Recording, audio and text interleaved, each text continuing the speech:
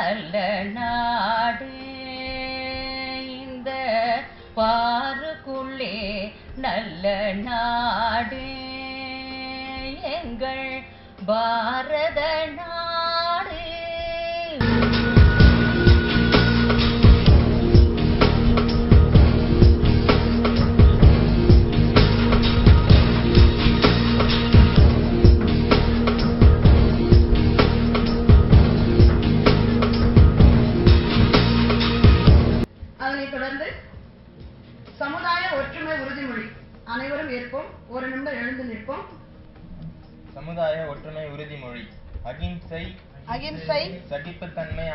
சகிப்புத்தன்மை ஆகிய நமது நாட்டின் மரபுகளில் நமது நாட்டின் மரபுகளில் தளராத நம்பிக்கை உடைய தளராத நம்பிக்கையுடைய இந்திய மக்களாகிய நாம் இந்திய மக்களாகிய நாம் எவ்வகையான கொடுஞ்செயல்களையும் எவ்வகையான கொடும் செயல்களையும் வன்முறைகளையும் வன்முறைகளையும் முழு ஆற்றலோடு எதிர்ப்போம். முழு ஆற்றலோடு எதிர்ப்போம். ஜாதி ஜாதி மத மத மொழி பேதமின்றி மொழி பேதமின்றி பசி பசி நோய் நோய் மற்றும் அறியாமையை போக்கி மற்றும் அறியாமையை போக்கி மக்களை மக்களை நல்வழியில் வழிநடத்துவோம் நல்வழியில் வழிநடத்துவோம் எல்லா துறைகளிலும் எல்லா துறைகளிலும் நாம் முன்னேறி நாம் முன்னேறி நம் பாரதத்தை நம் பாரதத்தை உலகின் உலகின் தலைசிறந்த நாடாக தலைசிறந்த நாடாக உருவாக்குவோம். உருவாக்குவோம். அனைத்து மக்களும் அனைத்து மக்களும் ஒன்றுபட்டு வாழ்ந்து ஒன்றுபட்டு வாழ்ந்து நாட்டின் ஒற்றுமையையும் நாட்டின் ஒற்றுமையையும் சமுதாய நலனையும் சமுதாய நலனையும் காப்போம். காப்போம். மனித உரிமை மீறல்களை மனித உரிமை மீறல்களை தடுப்போம். தடுப்போம். வந்தே மாதரம். வந்தே மாதரம். ஜெய் ஹிந்த் ஜெய் ஹிந்த்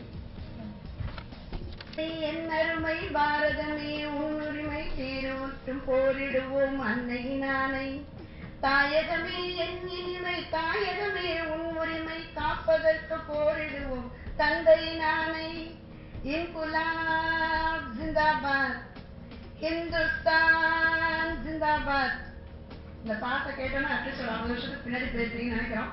ஆக்சுவலி உண்மையாலுமே நமது இந்திய தேசத்தின் எழுபத்தி இரண்டாவது குடியரசு தினத்தை முன்னிட்டு இந்த ஒரு நிகழ்வு நம்ம ஆரம்பிச்சிருக்கோம். உங்க எல்லாருக்கும் தெரியும் சுதந்திரம் அடைவதற்கும் குடியரசு நாடாக மாறுவதற்கும் முடியரசு முடிஞ்சு குடியரசு நாடாக மாறுவதற்கும் நம்ம எவ்வளோலாம் உயிர் தியாகங்கள்லாம் பண்ணியிருக்கோங்கிறது உங்களுக்கு தெரியும். அன்னைக்கு மட்டும் இல்லை இன்னைக்கும் எல்லையில இருக்க நம்மளுடைய ராணுவ வீரர்கள் எல்லாருமே பார்த்தீங்கன்னா அவங்களுடைய உயிரை இன்னைக்கு இழந்துட்டு இருக்கிறாங்க. ஸோ இந்த சுதந்திர தினம் குடியரசு தினம் வருவதை அவருக்கு நாம் வீர வணக்கம் செலுத்துவதும் அவர்களை போன்று நம்மோடு இணைந்து உழைக்கின்ற மக்களை நாம் பெருமைப்படுத்துவதற்காகவே எங்களுடைய அமைப்பு இதை செயல்படுத்தி வருகிறது. ஸோ இந்த நேரத்தில் வந்து இந்த அமைப்பை ரொம்ப அருமையா முன்னிட்டு செயல்படுத்திட்டு இருக்காங்க நம்ம ஐயா. ஸோ குடியரசு தினத்தை முன்னிட்டு நமது human care human rights protection emergency action network மற்றும் social justice peace and legal experts organisation சார்பில் நடைபெறவிருக்கும் நாற்பத்தி ஐந்தாவது மாநில மாநாட்டை தலைமையேற்று சிறப்பிக்க வந்திருக்கும் நமது ஹெச்சிஎச்ஆர்பி அண்ட் எஸ்பிஜி லியோ ஆகிய அமைப்புகளின் founder and national president world citizen Naya Krantikari doctor Joseph ஐயா அவர்களை அன்போடு மேடை கழிக்கிறோம் ஐயாட்ட அடிக்கடி எல்லாருமே கேட்பாங்க. நாங்களும் கேட்டிருக்கிறோம். ஸோ அவங்க சொல்றது ஒரே ஒரு வார்த்தை என்னன்னா எல்லா புகழும் ஒருவன் ஒருவருக்கே நீ நதி போல ஓடிக்கொண்டிரு. இந்த பாடல் வரிகள் போல மனிதனாக பிறந்த ஒவ்வொருவருமே மக்களை நல்வழியில் நடத்துவதற்காகவும் அவங்களுக்கு பாதுகாப்பு கொடுப்பதற்காகவும் நாம் பாடுபட வேண்டும். எல்லா புகழும் இறைவனுக்கு.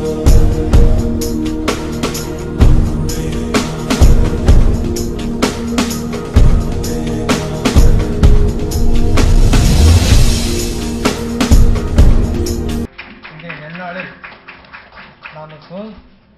சுதந்திர காற்றை சுவாசிக்க காரணமாக இருந்த தியாக திரைகளை மறக்க முடியுமா? மறக்கலாமா? முதலாக வெள்ளைய நாட்டுக்கு எதிராக நம்மளை அடிமையாக்கக்கூடிய சமயத்தில் அகிம்சை காந்திகள் என்ன பண்ணாங்க? அகிம்சை என்ற வெப்பன்ஸ் ஆயுதத்தை கையில் எடுத்தாங்க முதல்ல வெளியே என்ன நினைச்சாங்கன்னா என்ன அகிம்சை ஆயுதம்? இது என்ன ரொம்ப சதுகாரம் நினைச்சார். அப்புறம் பார்த்தா நம்ம பீரங்கி துப்பாக்கி நவீன ஆயுதம் விட பலமான ஆயுதமா இருக்க இதை பார்த்து என்ன பண்ணாங்க? மிரண்டு போயிட்டான். அடுத்த நேரம் நேதாஜி அவர் என்ன பண்ணாரு? ஒரு இந்திய ராணுவத்தை அவருக்கு எதிராக உருவாக்கி அவர் நீ போராட்ட தயாரானார். நீ இதுக்கு நேராய் வரட்டும். நெஞ்சில் துணிவு இருந்தால் அப்படின்னு அவர் ஆரம்பிச்சார். என்னடா பார்த்தாரு? பார்த்தாங்க வெள்ளக்காரன். என்னடா துண்டாக துணியான்னு சொல்லிட்டு நாட்டை பிடிக்க வச்சுட்டு ஓடிட்டான். அப்படியாக நமக்கு சுதந்திரம் கிடைச்சி. அப்போ சுதந்திரம் கிடைச்சி எல்லாரும் மகிழ்ச்சி ஆகிட்டோம் அப்போ பாரத பிரதமர் நேரு அவர்கள் என்ன பண்ணாங்க? பிரதமராக பிரதமராக பதவி கேட்பாங்க அப்போ பஞ்சாப் போகிறாங்க பஞ்சாப் போயிட்டு இருக்கும்போது ஒரு கூட்டம் நிறைவு முடிஞ்ச உடனே வெளியே வரும் அப்போ ஒரு இளைஞன் வந்தான். அவரை அப்படியே தடுத்து நிறுத்தினான். உடனே பாதுகாவலெல்லாம் ஓடி வந்தாங்க. எல்லாரும் போய் சொன்னார் ஏதோ சொல்ல வர சொல்லட்டும். நம்ம கேட்போம் அவர். அப்போ அவர் கேட்குறாரு சுதந்திரம் கிடைச்சி எங்களுக்கு என்ன பலன்? எங்களுக்கு என்ன பிரயோஜனம்? அப்படின்னு கேட்குறாரு. அப்போ நிறைய சொன்னாரா? நான் ஒரு பாரத பிரதமர். இந்தியாவுக்கே ஒரு பெரிய ஒரு அதிக ப- பவுன் இருக்கக்கூடிய என்ன வந்து இப்படி தடுக்கக்கூடிய ஒரு அஹ், உரிமை கிடைச்சிருக்கு இல்லையா? சுதந்திரம் கிடைச்சிருக்கு இல்லையா? தான் சுதந்திரம் அப்படின்னா உடனே அவன் என்ன பண்ண எழுதி என்ன பண்ணான்? அவருக்கு அந்த வார்த்தையை கேட்ட உடனே அவர் தவிர உணர்ந்தான். அப்படியாக நம் நாடு சுதந்திரம் பெற்றோம் இல்லையா? அதன் பிறகு டாக்டர் அம்பேத்கர் அவர்கள் என்ன பண்ணாங்க? இந்திய அரசியல் சாசனத்தை உருவாக்குனாங்க. நாடு நம் நாடு வந்து ஒரு சட்டத்தின் ஆட்சி நடைபெற வேண்டும். அப்படிங்கிற இடத்துல பல நாள் தூங்காம இரவு போல் முடித்திருந்து ஒரு இந்திய அரசியல் சாசனத்தை நம்ம உருவாக்கி கொடுத்தாங்க. இல்லையா? அந்த இது அரசியல் சாசனத்தை வந்து நாம வந்து மதிக்கிறோமா அப்படின்னா அது ஒரு கேள்விக்குறி. இன்னைய வரை கேள்விக்குறியாக இருக்கிறது. இல்லையா? அந்த ஒவ்வொரு சட்டமும் வந்து மக்கள் வந்து மிகவும் பயனுள்ளதாக சட்டங்கள். அதை குறிப்பாக சொல்ல போனால் அம்பேத்கர் ஒன்று ஏ தெரியுது என்ன சொல்லுது நம்ம கடமையை செய்யணும் அப்படின்னு சொல்லுது. இல்லையா? நம்ம இருபத்தி ஒன்று ஏன் என்ன சொல்றதுன்னா சுதந்திரத்தையும் பாதுகாப்பையும் நமக்கு அளிக்கிறது. என்ன? அப்படியே நிறைய சத்தங்கள் ஏற்றினாங்க கடைசியாக பத்தொன்பது ஏ. நாம இந்திய குடிமை ஒவ்வொருவரும் இந்திய எல்லைக்கு உட்பட்ட பகுதியில் எங்கேயும் சுதந்திரமாக வாழலாம். ஆ, தொழில் செய்யலாம். இஷ்டப்பட்ட தொழில் செய்யலாம். அரசியல் தலையிடலாம்.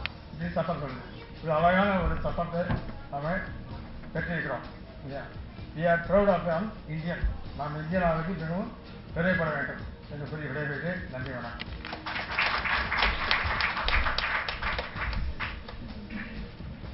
சகோதர சகோதரிகளே இந்த அமைப்பின் நிர்வாகிகளே உங்கள் அனைவரையும் சந்திப்பதில் மாலை பெருமகிழ்ச்சியும் அடைகிறேன். இங்கே கூடியுள்ள அனைவருக்கும் நாங்கள் நீதித்துறையிலே பணிபுரிந்த போது பல விதமான வழக்குகளை சந்தித்து இருக்கிறோம். வழக்கறிஞர் நண்பர்கள் தெரியும். அதில் சொல்வார்கள். சென்சிட்டிவ் மேட்டர் இருக்கும். அதையும் செய்வோம்.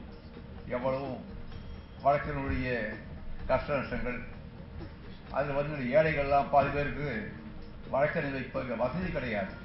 அவர்களுக்கு இலவசமாக சட்ட உதவி செய்வார்கள். தமிழ்நாடு அரசாங்கத்தின் மூலமாக. அந்த ஆற்றில் நிறைய பேர் செய்திருக்கார்கள் வழக்கறிஞர்கள்லாம். நான் ஒரு என்னை விட நான் எல்லா துறையிலும் வேலை செய்தேன். குறிப்பாக என் நண்பர் இருக்காரு அவர் வந்து ஹியூமன் கமிஷன் ஒர்க் பண்ண வேலை செய்தார்.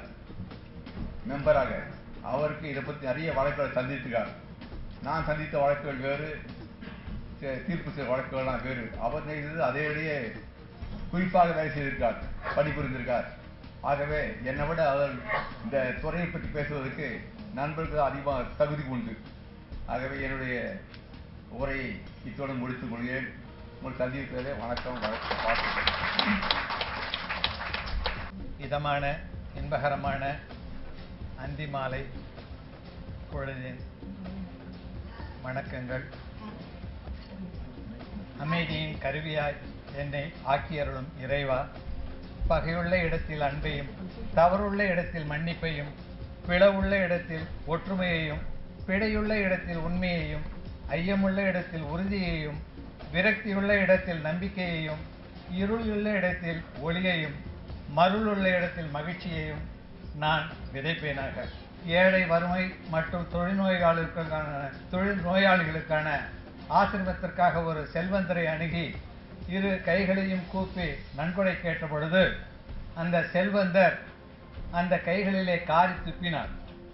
இருந்தும் அந்த அம்மையார் எனக்கு கொடுக்க வேண்டிய நன்கொடையை நீங்கள் கொடுத்து விட்டீர்கள் ஆனால் எனது ஆசிரமத்திற்கு கொடுக்க வேண்டியதை நீங்கள் கொடுக்கவில்லையே என கேட்டபொழுது அந்த செல்வந்தருக்கு பெரும் அவமானமாகி நம் இந்த அளவுக்கு இந்த பெண்மணியை நாம் அவமரியாதை செய்தும் அவர்கள் அதை பெருந்தன்மையாக எடுத்துக்கொண்டு இப்படி நடந்து கொண்டாரே என மிகவும் மனம் வருந்தி தான் மட்டும் நல்ல நன்கொடையை வழங்காமல் தனது நண்பர்கள் உற்றார் உணர்வுகள் உறவினர்களுக்கெல்லாம் தெரிவித்து பலவாறான நன்கொடைகளை வாங்கி குவித்து கொடுத்தார்.